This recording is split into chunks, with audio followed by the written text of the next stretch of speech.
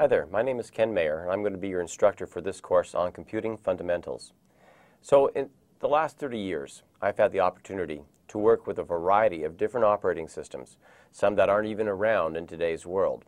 Of course, eventually we moved into uh, the personal computer and working with something we call the disk operating system. Certainly worked from there through shell commands to uh, install hardware, to install the uh, software, to even building some of these computers uh, from scratch. I've then continued to move and follow along with the different operating systems that came out. And out came this thing called Windows. And of course, I followed the Windows family all the way through to the current Windows 8. I worked with other network operating systems such as Novell. And outside of the operating systems, I've also worked in the arena of the networking infrastructure, working with uh, some of the biggest vendors for the uh, routing and switching markets, for the security and firewall markets. Also have a hand at doing a lot of audits to uh, work with uh, what we call security or sometimes ethical hacking. And so I hope that with this foundation over the last 30 years, with all the things I'm still doing as a consultant, that I'll be able to share that information with you in a way that makes it very easy for you to understand how uh, the computing fundamentals work and to be able to get you going in the world of computing. So in this module, we're going to talk about the fundamentals of your operating systems. And so what we'll do is, of course, describe what an operating system is, how we can uh, basic, uh, do some of the basic configurations of the operating systems, and then introduce what an application is, how that's different than an operating system. And then, of course, with all of that, we're going to talk about how the hardware and the software, both applications and operating systems, are going to work together. And then we're going to look at some of the fundamental settings that uh, you can use and control to make the operating system more convenient for you, to make you more productive through the use of something like the control panel that you see in Windows. So let's start off by talking about what an operating system is. So what we'll do is we'll cover how applications and hardware work together with an operating system. I'm going to go back a little bit in history to let you know where we were and why uh, having a, an operating system like Windows is so useful for us now. That means I'll also talk about some of the common operating system features, get into uh, the ability to cruise through your files and your uh, folders through the directory infrastructure, also talk about uh, the needs to keep an operating system up to date through patches and other types of updates. So I want to talk first a little bit about the history, and you're going to hear me repeat this over uh, a few times just to make sure that we're uh, clear about the uh, importance of an operating system. In the old days, the operating system, well, even today, is supposed to be a way of uh, interacting between you, the user, and the uh, hardware, like maybe a printer that's connected to your computer. I like to make computers look like laptops. So basically, you're interacting with the uh, operating system that is in control of the functions of what the computer does. Part of that control means that it's operating and working with different peripherals. That's what we call uh, different dev- uh, hardware devices that we attach to a computer. And it could be like a printer, uh, or of course, it could be like a, a mouse that we connect, or the keyboards. Even though I drew a laptop, I'll add a keyboard in there. So when we started this work, we needed to have a way to be able to physically implement commands. We wanted to be able to take our actions that, uh, that we want the uh, hardware to, to uh, take uh, to happen through the operating system. And the way we did it in the old days is we had what was called the disk operating system. Now, the disk operating system, known as DOS, was designed to give us an interface, but it was through a series of commands that we uh, actually had to uh, type in here. I want to kind of reverse those. Let me make it look the right way. Uh, C colon and then the pounds or the uh, greater than sign. And so if you didn't know the commands, you were forever searching, looking through reference guides. But uh, the idea was is that we wanted to be able to uh, issue a command to have something happen. Like maybe we wanted to open up a certain program, so we had to know the what we called the path of where the program is and understand uh, some of these uh, extensions that we use that kind of were coded into the commands to be able to make some program run or open up. And in those days, if a program did launch for us, it also was in a command line format. That um, it often didn't have a beautiful graphical interface like we see in today's world. And the idea was is that as we continued to uh, issue different commands, maybe we wanted to uh, uh, look through the list of files that we have, so we had to memorize commands like dir for directory, and all the commands had to be eight letters or less. But it was our way of being able to interact with an operating system, and then the, that operating system could interact with the hardware.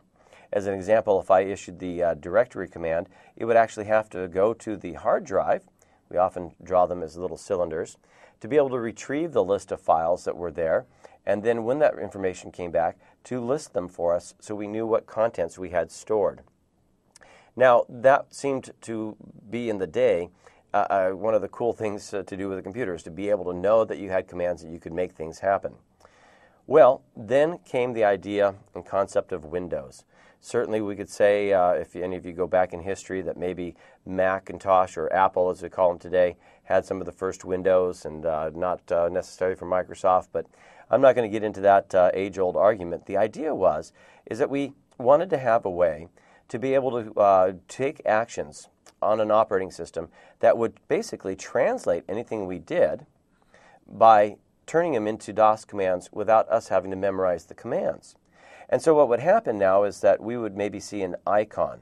That's what we call the little pictures that are on the screens of uh, maybe a printer. And we knew that if we could move our mouse, a little pointing device, over to that and click on it, that that would do the same thing as finding the proper DOS command to be able to actually print a, a document or a piece of paper. And so that made life uh, a lot easier for us because basically those visual commands that you would do would translate into these DOS commands. And then you would uh, uh, be, of course, much more productive because you didn't have to research, memorize, or uh, kind of uh, you know struggle at trying to figure out how to get certain things done. Uh, the other thing that the operating system did for us is it gave us kind of an interface to the hardware.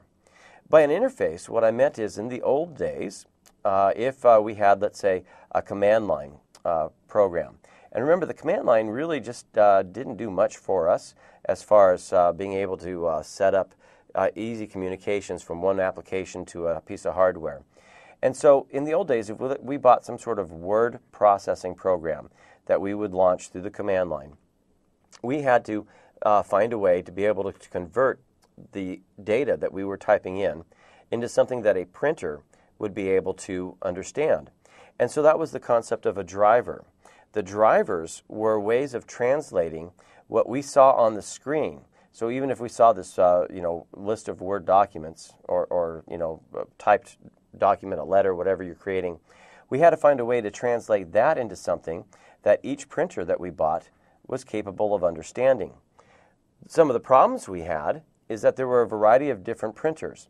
And so uh, if you decided to suddenly buy a new printer because maybe the old one died, then we had problems using that same program with the new printer because it may have been by a different company or had a different set of uh, instructions. Uh, and by the way, printers have their own operating systems, often called firmware, which are uh, basically loaded into the uh, chips of the uh, printers that have the, all the instructions. And so we had to find a way to translate that. Drivers did that job for us. They helped us translate our output into something that the device, the hardware device that was connected to us, would be able to understand. So, one of the concepts that came out of Windows, and by the way, this also made it very expensive because if you wanted to use this word processing program, the people who created that program at that time were uh, required to create drivers to talk to all of the different models and manufacturers of printers. And so that made the cost of buying this software expensive because that took a lot of work for the developers of that software to be able to create drivers for every model of printer. And even back in the days of the command line, there were a lot of vendors uh, that were out there selling printers, just like today. So one of the other ideas came up that said, you know, let's make some, this a little bit cheaper. Let's make this a little bit easier and come up with this common interface between the two, the operating systems and the hardware. So here came the concept of Windows. I know I'm drawing lots of little screens for you. So Windows came up, Microsoft, with this idea that said, look, what you can do is you can create a program like a word processing program, and all it has to do is be able to talk to Windows. And what we'll do is we'll require everybody who builds a printer to be able to create their own driver that could talk to Windows. That way, the development of the software was much cheaper, and from, and some of you might say, well, I've seen some expensive software, but certainly it depends on the functionality and how complex it was to develop. But all we had to do is make sure that the applications talked to Windows and that the uh, hardware devices would talk to Windows, and Windows would do that translation for us in communicating from the uh, content, let's say again of a word processor, to the uh, driver that uh, would then communicate to the print device. And that made life so much simpler eh, all the way around because uh, we didn't have to worry about the complexities of trying to be able to match all of the different hardware that was out there. All we had to do was write programs that worked with Windows. Now, one of the things that, uh, that you're going to see in the discussion we have is just uh, what do file extensions mean to us. And, uh, and this, again, is a part of how applications and hardware kind of work together uh, with an operating system. But the idea was is that uh, we wanted a way to, again, to make this easier. If I wanted to open a file, and I was back over here doing this directory command, and I saw a list of files, in order for me to open the file, I had to first open a program, and then from that program, reference the file that I wanted to have opened. And that file might not have even been compatible with the uh, communications of that application. In other words, you might have made the wrong association of which program you thought would open a certain uh, file that you have. So another concept that we have of extensions, sometimes called associations, is that we found a way to be able to mark each file that we create with a program. And uh, that process made it, again, easy for us in the operating system to be able to open up our content and our files. As an example, if I had a file and all I saw was the name file, how would I know what that's supposed to open with? Again, it would be a guessing game. And so we came up with the concept of putting a period at the end of each of these files and putting what we call an extension. And uh, for the most part, the extensions used to be just three letters in length. And, uh, and that was also, by the way, because file names could only be a total of 11 characters in length. And so it was uh, the combination of what you named it and the, uh, and the extension. Now, of course, they can be much longer than that. Uh, anyway, uh, so what we said is we said, okay, now, operating says this. If somebody opens a file with a .doc as an extension, we're going to associate anything that ends in the .doc with something like Microsoft Word or maybe WordPad so that we know that when we try to open that file, instead of having to first figure out which program to open it with, that we could then just say, okay, you can open the file, the operating system will take care of opening the right application. So there's a number of uh, different types of extensions that you might see. Some like XLS would be one that would uh, open up with a spreadsheet program uh, like Excel. And, uh, and by the way, these are things you can always change. Uh, some that are a little dangerous, if you're not sure what they are, are .exes. Those are system files, extensions, that uh, in this case is an executable. That would be a, a, actual how I would open an application. If I wanted to open up Microsoft Word, I would actually find it named word.exe. So uh, basically, we'll call those applications or apps that uh, would open up. Uh, some things might add automation and actually make changes, good or bad, to our system. In the old days, we used to have what were called batch files, which uh, were scripts. Today, we uh, use VB scripts a lot. And so, again, there's a number of these uh, little system files and extensions that uh, were designed to actually change the way in which applications or the operating system would behave. So, the more you know about the file extensions, the better off you are at understanding which uh, applications they're going to open by their associations. And, uh, and again, knowing that the extensions are important when you do create a document, because, uh, you know, if I wanted to, I could change an extension, any of us could, but then you might break the functionality of that file. You can always fix it, name it back again, but uh, just as long as you understand what uh, the goal is. And so, again, um, what we're seeing though is that we use the operating system to work with applications and our files.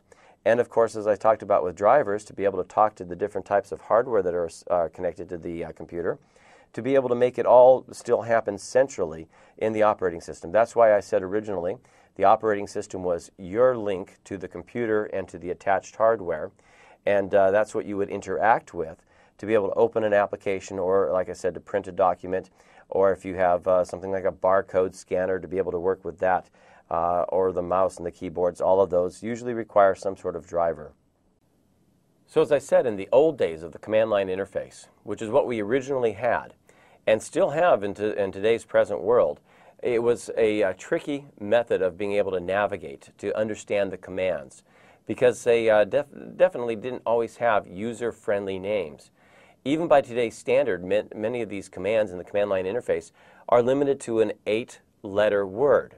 So you can imagine that if I wanted to uh, know how to open Server Manager, as an example, then you'd have to guess, well, what was the acronym? Because I can't type Server Manager. Is it SRV, MNGR, or something like that? It was, like I said, the navigation was tricky. Even doing something as simple as creating a new directory uh, or changing the current directory that you want to look inside uh, was uh, something that was uh, tough to do. And if you did run a program, you could only one, run that one program at a time. If you wanted to run two applications or programs at the same time, we couldn't do that. We had to close the one we were uh, no longer using, open up the next one. So it made even the productivity so much less. So not only was the, the navigation of the command lines, what we call the hierarchy of the command lines, uh, difficult, but also was trying to be as productive as we could. I already mentioned that uh, th those applications were expensive because the people that made the applications wanted you to buy their applications, but there's no way they would know did you have a uh, Hewlett Packard printer or uh, any of the existing printers back in those days. They didn't know which one you were going to buy, and so they either had to uh, just say, if you want to buy this uh, software, you got to use this printer, uh, which might not be what people want to do, uh, or they had to drive or create all those drivers to be able to interact with all the hardware that you might be using.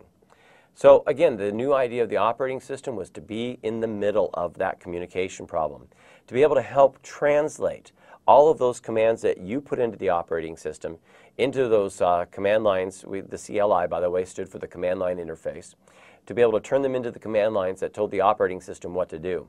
And that still happens today behind the scenes. Even though we don't see the command line interface, we still, you know, one mouse click from you might actually execute hundreds of lines of commands to be able to get the functionality that you want.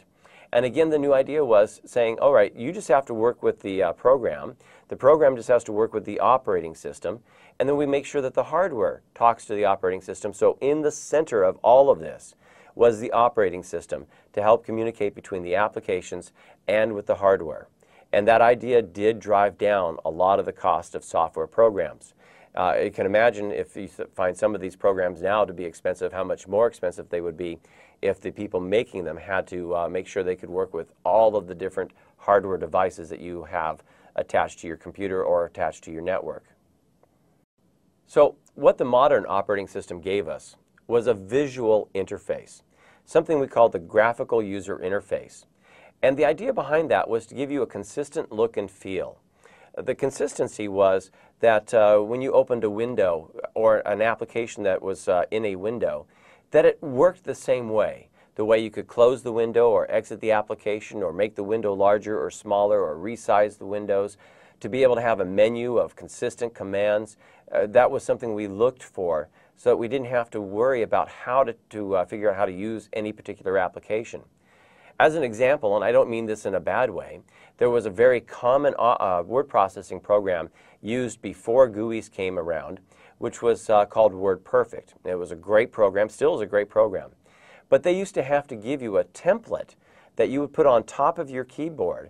And if you wanted to print, you had to remember if it was the F7 key, or it was holding the shift button down hitting the F7 key, or if it was the control and the shift and the F8 key, or all of these different commands. And if you didn't see your first set of commands, you had to flip this little chart open and flip through several pages of charts to find the command you wanted in the keyboard shortcuts. And so then if you wanted to go to uh, Microsoft Word, uh, you didn't have that same flip chart. And so that's where consistency became a big part of the graphical user interface. So that now most every application you see has a little picture of a printer. We call, again, we call it an icon. You click on that and it prints for you. You don't have to worry about memorizing all of these different commands for different programs, and it helps you in being able to know how to uh, transition from different applications. So that's what we looked for in the, op in the graphical user interface, was getting that, what again I call the consistency for the look and the feel and the way it worked. Now again, the modern operating system again gave us the drivers for the operating system from the hardware manufacturers. I've talked enough about printers, but there's other devices you might connect. Uh, again, another device might be is something I use as a present uh, in the presentation world is a little device I can click on to go from one slide to the next slide in my uh, PowerPoint presentations. And so I had to have a driver that talked to the operating system so it could, uh, again, actually act as an input device and send a message in that the operating system understood. And then the operating system could say, oh, I know what that command's supposed to be on this application. So that communication with drivers actually went both directions. It just depended on whether or not we were sending information into the operating system from hardware or sending the commands out of the operating system to hardware. And it also simplified the setup of hardware because now we don't have to go through all of the uh, work we did in the command line uh, area especially to be able to introduce or to set up uh, different devices of hardware because all we need now is usually just some sort of CD or DVD that has all of the instructions to uh, set up the communications. And so it simplified not only the consistency again of the uh, way in which Windows look, but also the consistency in how we can set up hardware. It was, uh, it's really made this world more productive in what we can do in working with the, uh, the uh, computers. And it doesn't make it as a difficult task to learn how to use computers because you know that once you understand how, what Windows looks like, or if you're using a different operating system, as long as you know how it works and you have that consistency, it doesn't matter what type of computer you buy. It doesn't matter if you bought an HP computer or a Dell computer or a Samsung or any of these other um, uh, vendors of computers.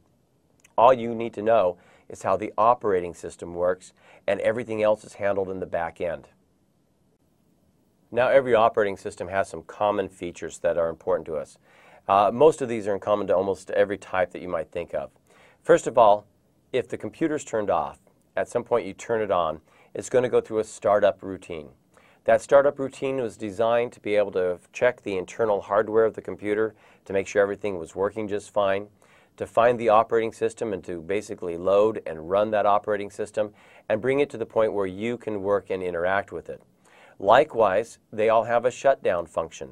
Now, the shutdown function is important, and uh, I'll mention it now, and you probably hear me say it again, is that it's a controlled turning off of your computer. By controlled, what it means is that your operating system is going to make sure that anything that uh, needs to be written to the hard drive before you shut it down is going to be shut down, or, or written to the hard drive, I should say, so that we don't get, end up with getting corrupted files. And I haven't talked about the hardware internally so much, and we'll talk about that at the end of this module. But the uh, process of doing a lot of the functions is uh, storing information in what we call memory. Uh, some people call it random access memory. There's different varieties of RAM as we talk about it. But RAM is the type of memory that if it doesn't have power, the data that's stored there will disappear. Unlike your hard drive, as long as the, you write the changes to the hard drive, you can take the power away and that information is still magnetically written onto the, uh, into that hard drive, so it's still there when you turn it back on again. Well, the problem was if you just pulled the plug and called that your shutdown, all of the information in memory would just disappear. And some of that might have to have been stored so the next time you turn on the computer, those files that the, the operating system requires are, are the correct files and that you don't end up with what we call file corruption. So they all have a shutdown feature to safely turn off a computer. Now, once you're working with a computer and, uh, and you think about uh, security issues, uh, you know, if you have your home computer or your home laptop and you're um, working with uh, your own personal data. Maybe you've got some credit card information or purchase history or medical files. And you got to think to yourself, what happens if I walk away from that computer? Well, and you walk away from it, uh, what's going to happen is that your screen is still on and people walking up to your computer would be able to access your data. I mean, if they know how to use an operating system, everything is there. So many of the operating systems have a feature called locking or lock. And what a lock does is it turns off the interactive screen, the windows that you would use, until somebody can provide the correct password to be able to bring that back open. And so that's why it's called locking. Now, you might say, well, why don't I just shut it down? Well, if you shut it down, all the information you were working on will also go away. I mean, hopefully it'll shut down and store it on the hard drive, but then you'd have to reopen all your programs and uh, get back to where you were. When you lock a computer's operating system, all of those programs are still working in the background. They haven't gone away. when you unlock it by supplying your, uh, your uh, username and password, or maybe a PIN number, or uh, whatever mechanism you use to log in, that information is still there in the same spot you left it. And so it was made it very easy for you to be able to, uh, you know, leave, know that everything's secure, come back and be able to immediately go back to work or being productive. Now, in some cases, you have devices that are requiring battery life or battery power. Your portable devices, again, a laptop or a tablet, of some of those natures. So there's another feature that is uh, something important that also, if you set it up right, will require a password to get back in. That feature is called Hibernate. Now, what Hibernate does is it basically takes all of the contents in memory, you know, that the, uh, storage location where if there's no power, the data is lost. And it takes that and actually stores that information on your hard drive. And you know what's in that memory? That memory is uh, basically keeping track of what Windows looked like when you were connected, which applications were open, which web pages you were on, uh, what uh, data you'd been typing into the application. All of that stored on a hard drive. And that way, when you take the power out and you lose that information in the memory, it's still on the hard drive. Now what happens is that you don't have to, when you turn it back on, wait for the longer process of the machine doing the initial startup, initial load of the, of the operating system, and finally getting the operating system to run. What happens is it just simply has to take that information on the hard drive, put it back into memory, redraw the screen the way it was when you left, and that way you're back to work in a very quick manner. So, and it is, by the way, very fast. But by being in hibernation mode, you're not utilizing any of your battery power. Now, there's also another option where you may have computers that are being used by more than one person. And so what we have is a feature of log on and log off. Now, again, the idea of logging on is uh, basically the same as what you would do when you first start up a machine, uh, uh, start up any operating system. You have to log on to that computer with a username and password. At least most often, that's what we see, especially now in Windows 8, where uh, we see more emphasis on security, even more than we saw with Windows 7. But if I'm done for the day and I don't want to shut down the computer, I don't need to hibernate the computer, but I don't want people using my account, you can log off. By logging off, you'll close the applications that you were working on, unlike Hibernate that would actually keep them uh, you know, available the next time you turned it on or, uh, and brought the power back. But that way, another person can come in after you. They can have their own log on and not have access to your information. Now, these features, like I said, are common with most every operating system, but it's important that you understand that even though I'm doing a focus on Windows 7 and Windows 8, that uh, there are other operating systems that are available to you. A very popular uh, brand of operating system is called Linux, L-I-N-U-X. Now, Linux does have a command line interface. That's primarily what it's known for, and a lot of people who are really into uh, the programming world like this type of uh, interface. But it also has what's called an X window, which brings up a graphical user interface that has a lot of look and feel like your operating system with Microsoft. Obviously, the world of Apple has their own operating systems and also has a command line interface. And that's another popular one. Now, again, it will have consistency from versions of uh, applications running on the Macintosh uh, operating system, the Mac OS, that uh, will be different, though, than the look and feel of Windows. So when I talk about the consistency, what I'm getting at is if you choose to use Windows, if you choose to use Linux, if you choose to use the Macintosh operating system, that the applications will all look and feel the same on that one operating system.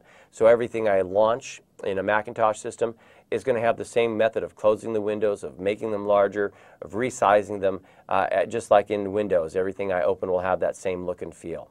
And that's what's important about an operating system is that it gives you that consistency, not necessarily between the different vendors, but for the programs you run on those systems.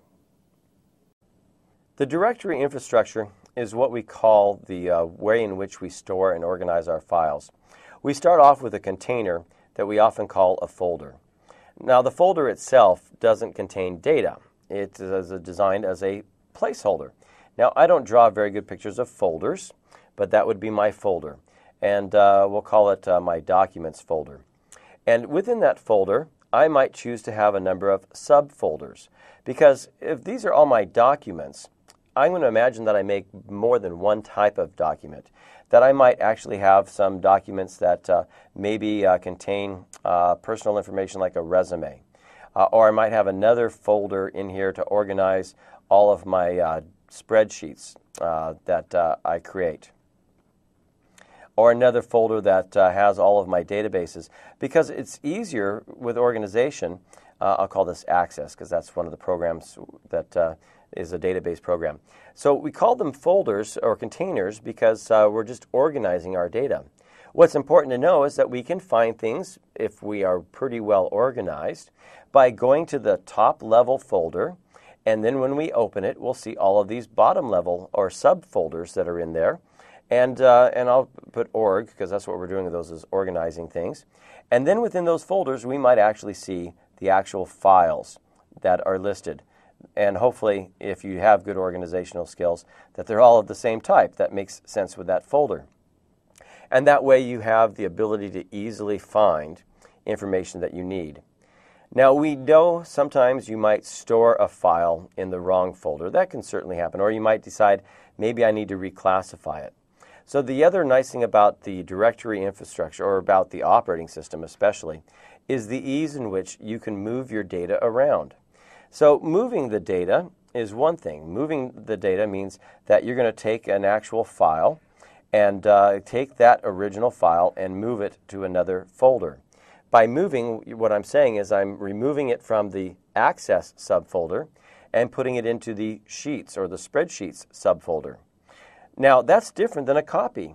A copy leaves the original and makes a copy of that file so that you now have that same file inside your destination. You basically have two of them, they're just in different locations. So uh, we call that a copy. Now, moving is very much the same as the cut operation, and most of you probably know it by cut and paste. Uh, in fact, that's another part of the function here, is that if you do copy something, you have to decide where you're going to paste that copy. And so uh, when you cut a file, that's the same thing as again as removing it from where it is and moving it, pasting it, put a paste over here, into the new location. So uh, you could say that the move function is the function of both copy and paste. Now I have to tell you that is so much easier to do that graphically than what it took for us to do it in the command line. In the command line, you'd have to use a command like copy, well that doesn't sound so hard, but then you'd have to put the full path of all the folders you had to go through to be able to get to that file. And then you had to put in the new place where you wanted that file to be located.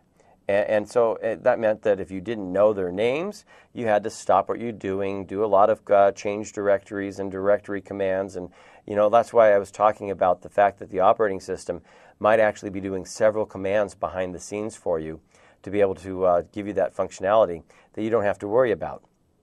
Now, most of the structure, the infrastructure of these directories, uh, are going to give you a search feature. So if you decide, well, I don't remember how I classified a document, but I need to find it, you could do a search and tell your operating system something specific to search for. Like if you know you had something called My Spreadsheet and you just don't remember where it is, then you could do that search at a top level folder, and that search would go through all of the folders down below until it found one or more of those uh, files that have those words in it, my spreadsheet. Of course, if it didn't find any of those, you wouldn't see any results. So again, it makes it easy to find data. And that's also important because uh, we don't want to be sitting there taking hours trying to uh, take care of this entire process.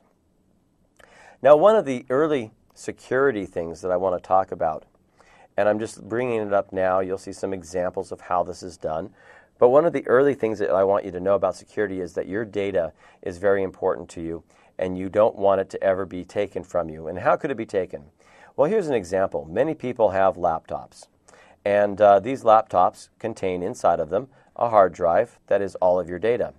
And a lot of times, if you're working out in a public arena, or maybe you're, um, uh, you know, got it locked in the car, whatever the case is, uh, some people try to secure it. They may they may try to uh, add passwords so that you just can't log in. Or some places actually sell uh, like a little padlock that you can uh, hook onto the uh, laptop and tie it down on a table somewhere. And you know, I got to tell you, as a, a person who works in the hacking arena, if I wanted your data I don't care where your laptop is. I don't care if you lock it down because all I need to do is smash it open and steal your hard drive. Once I steal your hard drive, I can hook it up to my Windows computer and look at all of your data. So, encryption or encrypting files is a very important function for the security of your data. In fact, if you, as you move further and further into uh, the, the uh, ideas of security, you'll see that we tell you that your, your information should be encrypted both when it's in motion and at rest. What does it mean at rest? When it's stored on the hard drive, it's at rest. What does it mean if it's in motion? If you take your file and decide to send it out through an email to somebody, is it uh, encrypted so that if anybody intercepts it, that they would be able to read your data? That would be the in motion part. Now, I mentioned this with NTFS, there's many other ways, but that's a free encryption feature that you have uh, with uh, a variety of different Windows operating systems. And it's very important uh, to know that you can uh, add that level of encryption with your files. All right, another uh, part of what we do in the directory infrastructure is we worry about how much space we have on our hard drive. And, uh, and so we try to find ways to get this amount of storage room to increase. Now, that was especially true many years ago. Many years ago, I remember when uh, we had what was a size of a 20 megabyte hard drive. Now, by today's standards, one big Word document with pictures and graphics could be the size of uh, that entire hard drive. We're measuring things in so many, uh, so much larger storage. So obviously, I was talking about even in the uh, mid 90s that we had so little room. So compression was another way of saving our uh, or reducing the size of a file.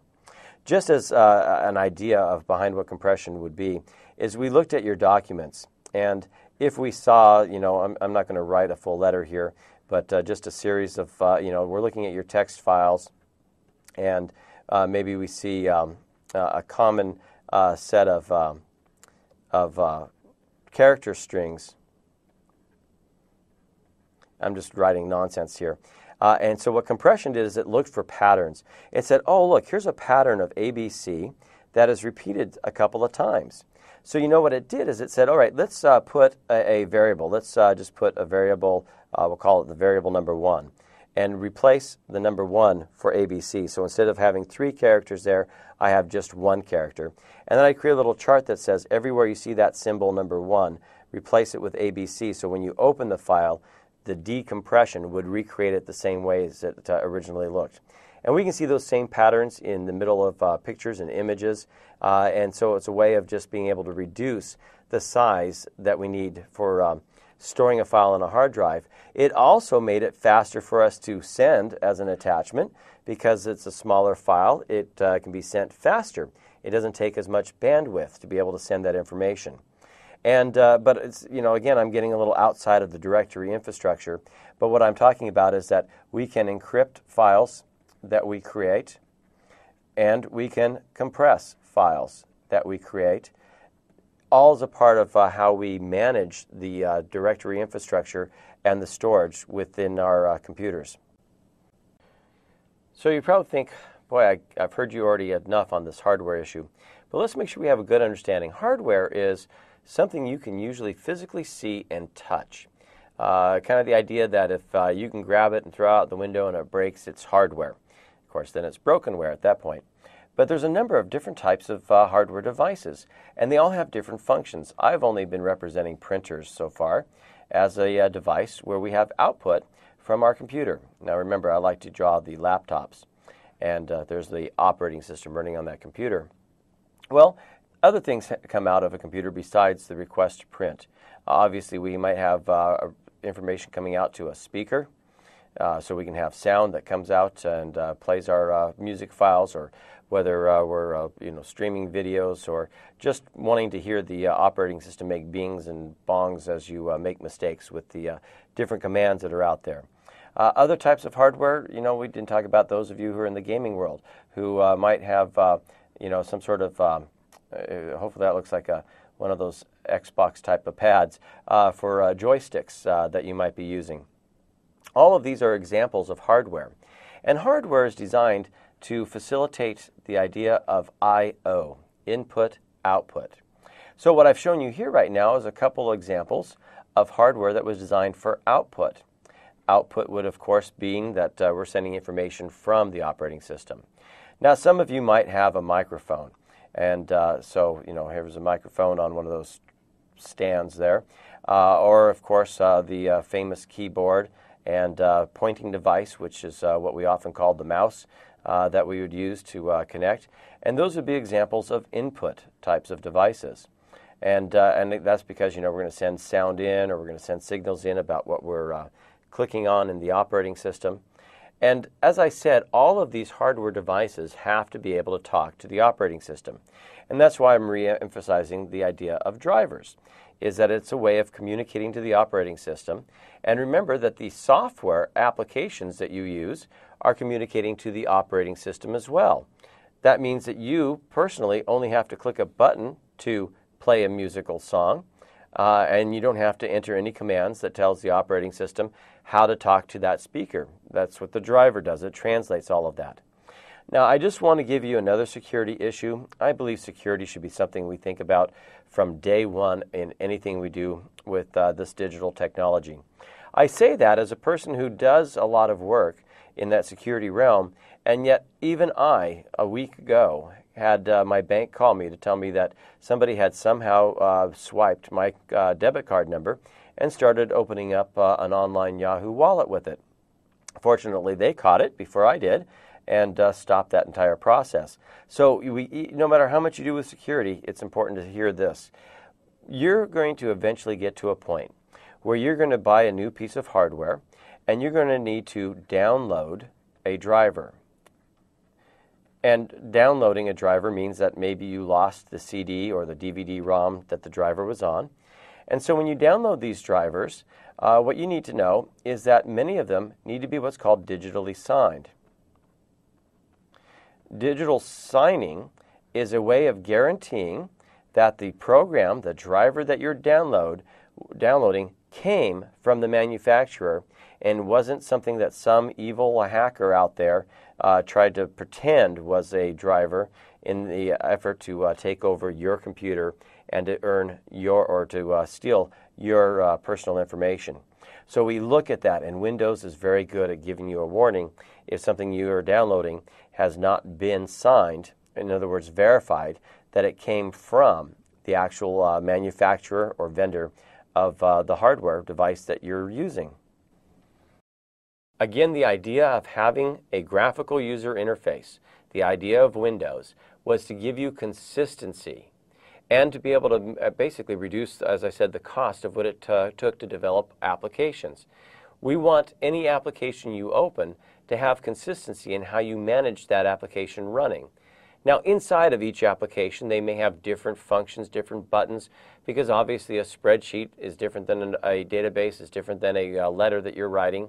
Um, but and so they'll have commands inside the application, but we want that consistency, and that's what the graphical user interface, we call it the GUI, gives you.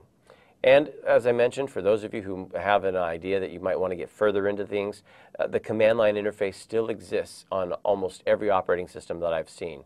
But that's where you're typing commands and not clicking on anything to uh, make that happen in the background. Now, one of the things that I want you to understand is how to navigate through Windows and to be able to change things about Windows to make it easier for you.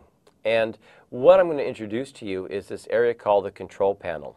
Now the control panel is something you'll probably come across and it allows you to change settings, potentially security settings such as whether or not you want to use the Windows firewall or this really cool thing called the Windows Defender which was designed to prevent viruses and spyware from infecting your computer.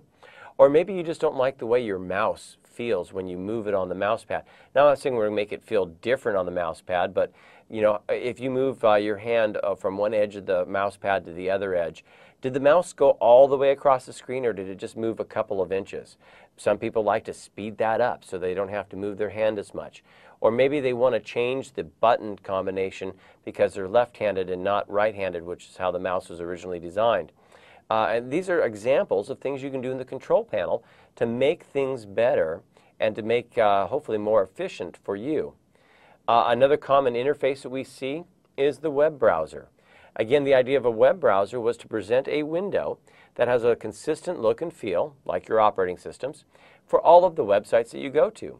And we'll certainly uh, give you an introduction and show you uh, some of the basics use of, uh, basic usage of the web browser to be able to search for uh, different websites, to be able to uh, go uh, back to an old website or to store a website as a place you can come back to later when you, in case you forget where that website is. So we're going to show you some of those features. But again, regardless of which page you go to, the idea is, is that we want you to be able to know how to navigate so that it doesn't matter what is the content on the page, but where it's located and how to get to it and how to be able to move around. Now I'm going to revisit the directory. That was the directory infrastructure, the way in which we store your information through the containers we called folders or the subfolders. And, uh, and again, like I said, that's kind of up to your organizational skills. What you're going to see when we get into Windows 7 is they have a tool called Windows Explorer. It got renamed to File Explorer in Windows 8, but it gives you the same capability.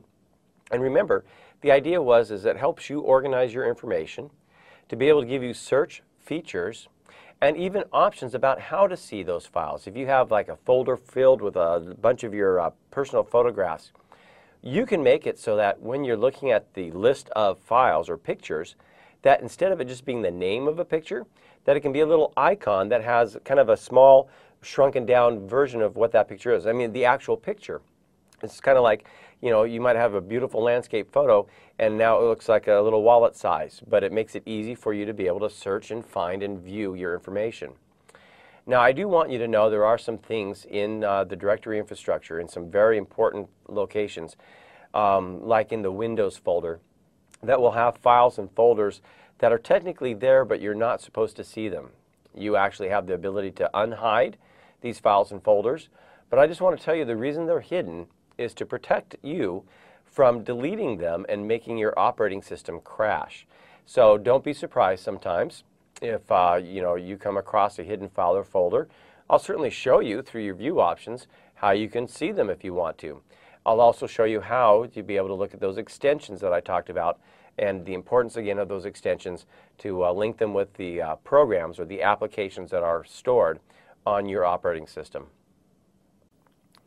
Now, over time, the different operating systems, including Windows, are going to have new features. And those features are going to come to you in the form of updates. Now, you may see and come across messages that tells you sometimes that there are new updates to install.